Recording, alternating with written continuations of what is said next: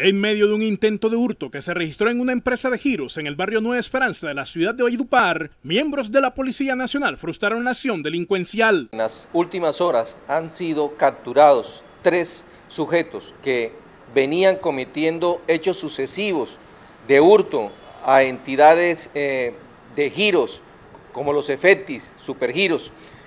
Estos sujetos eh, fueron abordados en el barrio Nueva Esperanza, en el momento que pretendían hurtar.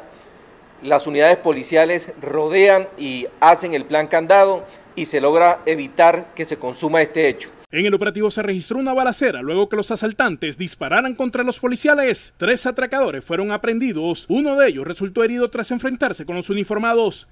Eh, se da un cruce de disparos con los sujetos y aquí este sujeto tiene ocho anotaciones, entre otras por hurto, hurto calificado, porte ilegal de armas y concierto para delinquir.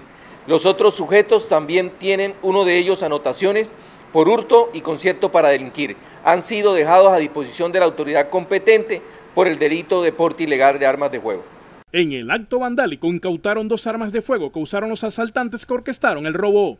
Aquí son capturados los tres sujetos, son incautadas dos armas de fuego, igualmente es inmovilizado un taxi, también se incauta un celular que estaba robado y un equipo de comunicaciones que perteneció a la institución que está fuera de servicio y con el cual suplantaban la autoridad.